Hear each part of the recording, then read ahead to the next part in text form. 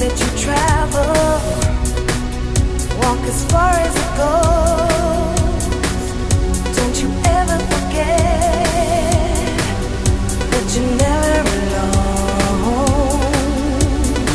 So when you feel like you have lost your way, something will show you which path to take.